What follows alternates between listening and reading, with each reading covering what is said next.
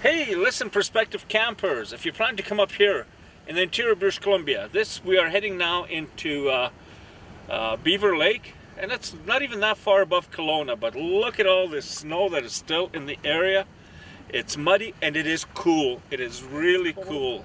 Cold, Cindy What's says. the temperature say on the bar?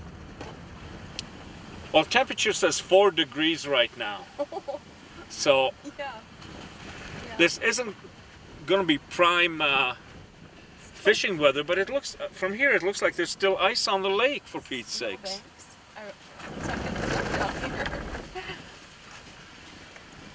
Welcome to Beaver Lake Mountain Resort Lodge. No kidding, it's mountain resort.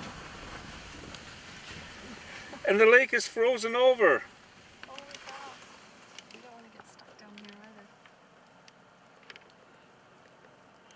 The lake is frozen over for May long weekend. You're not going to be fishing here.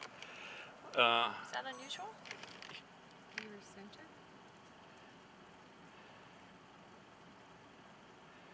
Frozen over. It's unbelievable. Like this is May long weekend.